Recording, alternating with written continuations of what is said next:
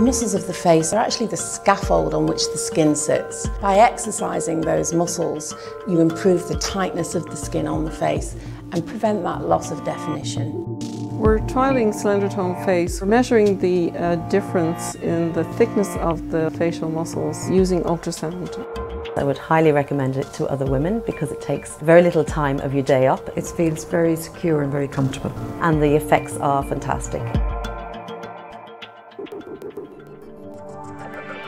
you.